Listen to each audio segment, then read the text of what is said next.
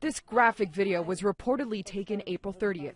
On that day, this woman, who wishes to remain anonymous, used her cell phone to capture child abuse, she says unfolded before her eyes. She just went irate. According to the video shooter, this was not the first time she witnessed Katrina Kennedy abusing her two year old son. The day that she punched him in the mouth is because wouldn't eat. And she said, Eat. And she just walked up to him and punched him. She felt it would take video proof of Kennedy mistreating her child to make sure authorities would have what they need to lock her up. Ultimately, a lost cell phone charger triggered Kennedy's violent reaction. That's the only charger I have. In the video, you can see and hear what appears to be Kennedy's little boy crying.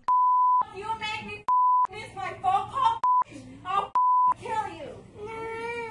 The video shows the child standing in the middle of the room, seemingly terrified. At one point, he raises his arms, covering his face. Find it before I throw this at your head. No. Now. Find it.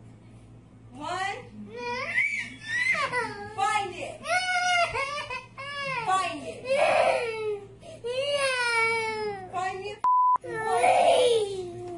The yelling and the name calling continues.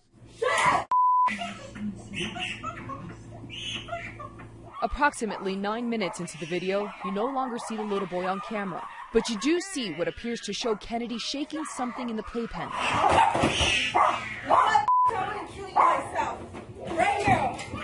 According to the woman who shot the video, she saw Kennedy hit the boy with a booster seat and then with her own hands. She hit him with her fist. She closed her fist and she was punching him in the head repeatedly. The video is a little more than 16 minutes long, and Kennedy's violent rampage continues until almost the very end. You run around always yelling at me. She posted the horrific footage on Facebook in hopes the exposure would prompt authorities to step in.